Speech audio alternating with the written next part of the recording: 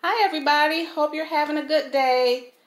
Today I want to, I'm excited to share with you my Dollar Tree haul. Everything on this table came from Dollar Tree and the entire four place setting probably cost about $40.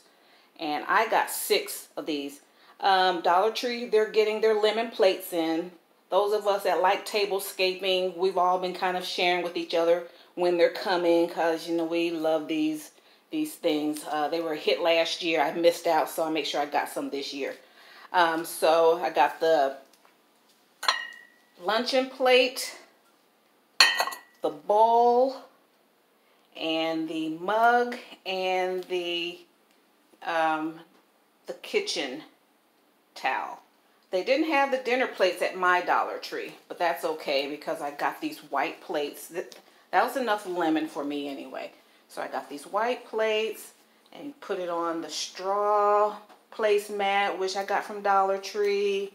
Or can use this green plate. I like that a lot. The green. And then these uh, candles and the candle holder and that vase and the silk flowers all came from Dollar Tree.